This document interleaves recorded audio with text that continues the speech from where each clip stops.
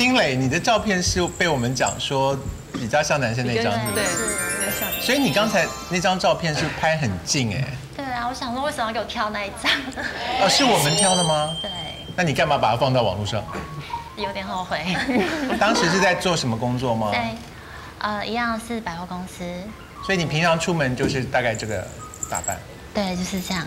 所以你是想要走有点 OL 的路线，是不是？对，我就是欧美风。嗯，我要为我的声音抱不平，因为我觉得我声音是蛮有优势的，怎么会怎么会输他呢？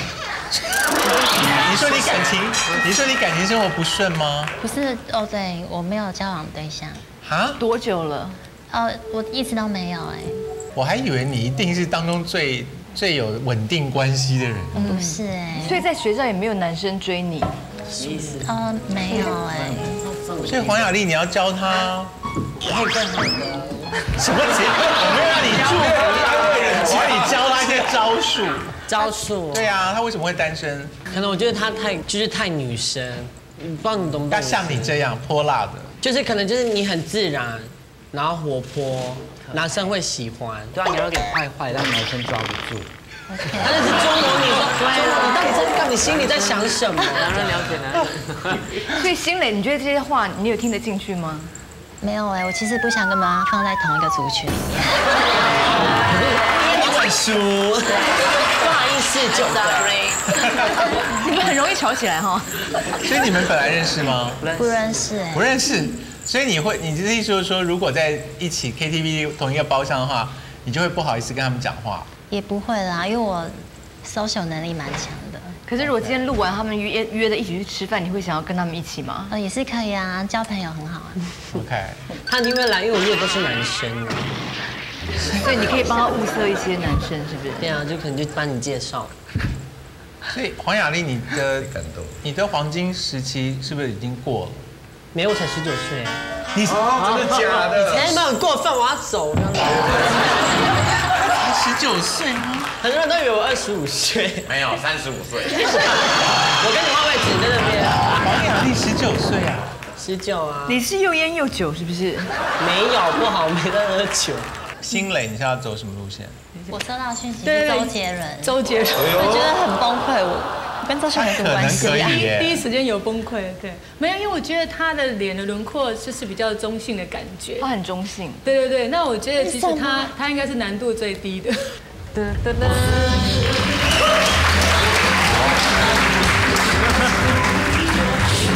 谢。谢什么？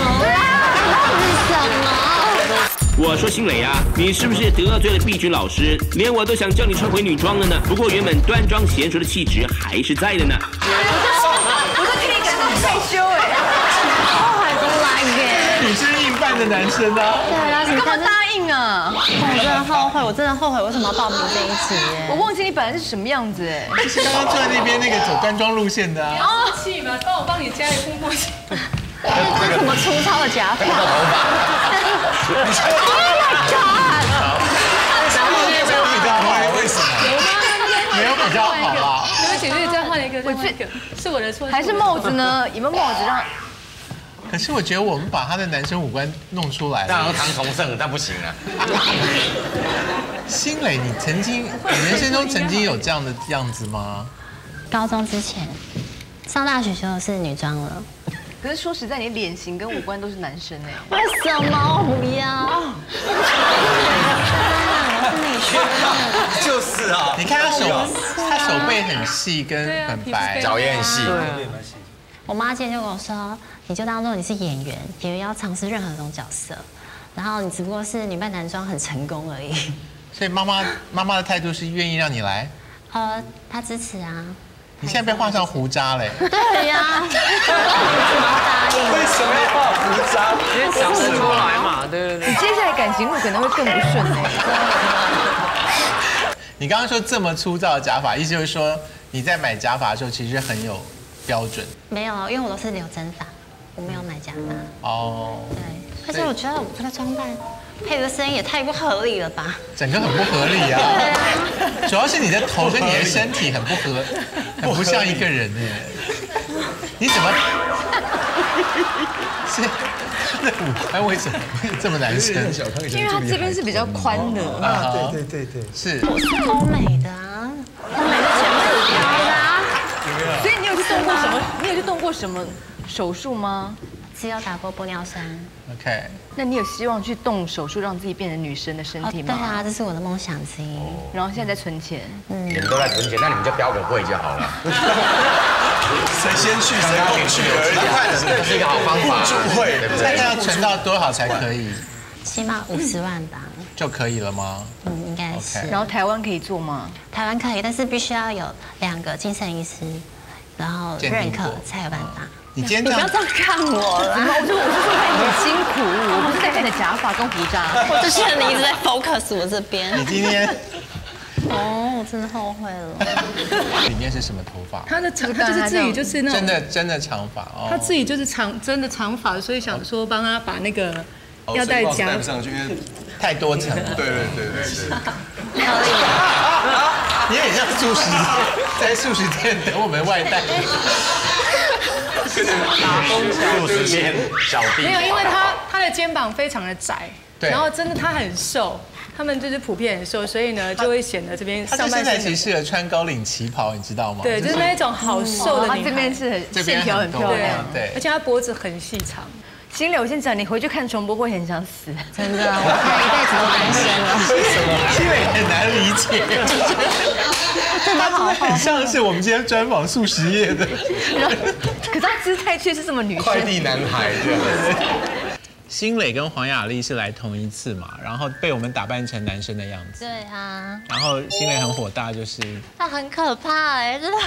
然后也生物有受到很大的那个有，我觉得他刚刚那个网友说的那个真的太弱了，他就说心里长那么丑，根本像夺魂去。他说哦，哎，我夺魂去，我说夺魂剧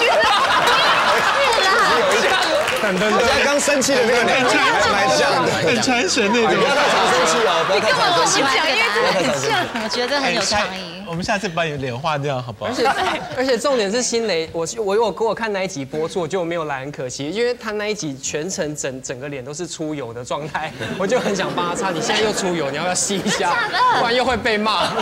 对，很油哎，现在。哎新蕾有有得到有人想认识你吗？有啊，而且我蛮意外，就是我在上班的时候，就陆陆续续很多人认识认出我来。